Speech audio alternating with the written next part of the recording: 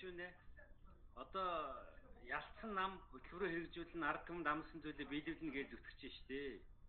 Тэр бол ойлгомжтой зүйл байхгүй. Ер нь бол хуулиуд дээр тодорхой хязгаарлалтууд байдаг.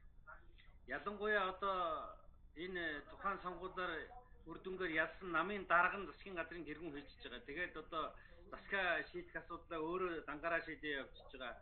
Энэ нөхцөлд бол надад ч хотлаад юм байна л да зүгээр. Одоо тэгээд бид нэр ер нь бол хамгийн гол нь энэ улс төрчдийн өөрсдийнх нь ялангуяа лидерийн тэр намын лидерээс шалтгаалахыг болчиход байгаа байхгүй юу?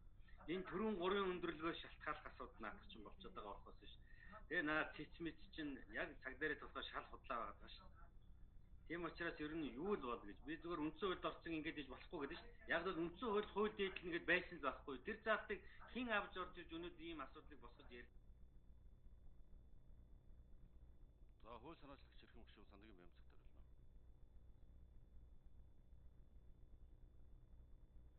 Монгол улсыг хөгжүүлэх 5 жилийн одоо үндсэн чиглэлд 100 зорилт дэвшүүлсэн байлаа гэхэд сонгуульд оролцож байгаа намууд тэр 100 зорилтоос одоо 5 жилийн хугацаанд жил жилдээ 20 20 гэж бодох юм бол түүнээс 80-ыг нь сонгоно.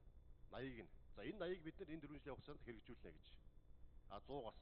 А түүнээс гадна 100-аас 101 гэх юм уу 102 дахь зорилтыг дэвшүүлэх юм бол түүнийг Монгол улсын үндэсний аудит сонгуулийн ерөнхий сонгуульд оролцохыг бүртгэхгүй. Ийм хуультай.